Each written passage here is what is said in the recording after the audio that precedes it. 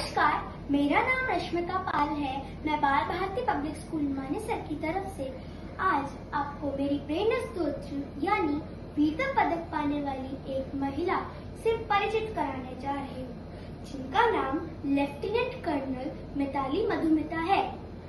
Lieutenant colonel Mitali Madhumita भारतीय सेना का एक चर्चित नाम 26 फरवरी 2010 में अफ़गानिस्तान के काबुल में आतंकवादियों द्वारा भारतीय दूतावास में किए गए हमले के दौरान दिखाए गए उनके साहस के लिए मिताली मधुमिता को उनकी बहादुरी के लिए गैलेंट्री अवार्ड से सम्मानित किया गया। उन्होंने भारतीय दूतावास में अंदर जाकर घायल नागरिकों और सैन्य कर्मचारियों को मलबे से बचाया था।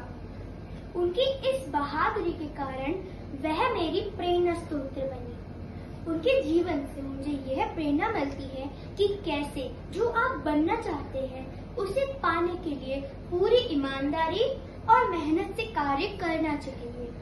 सही को सही और गलत को गलत बताने का हौसला होना चाहिए और अपने हक के लिए सही तरीके से आवाज़ उठानी आनी चाहिए।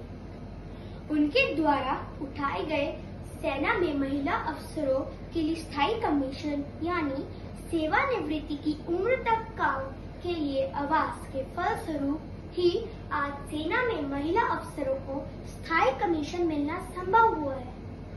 उनकी ये कहानी मेरे दिल में असीम साहस, वीरता और देशभक्ति भर देती है उन्होंने मुझे अपने देश की सेवा करने के उद्देश्य को पूरा करने के लिए एक सही मार्ग दिखाया। मैं अब अपने जीवन के लक्ष्य को चुनने में सफल हूँ, तथा कई तरीकों से हमारे समाज में योगदान देने के लिए अब मैं आश्वस्त महसूस करती हूँ। उनकी बहादुरी से प्रेरणा लेकर मैं एक सच्ची देशभक्त बनूँगी और अपने देश की निस्वार्थ भावना से सेवा करूँगी। धन्यवाद। जय हिंद। आपका दिन शुभ हो।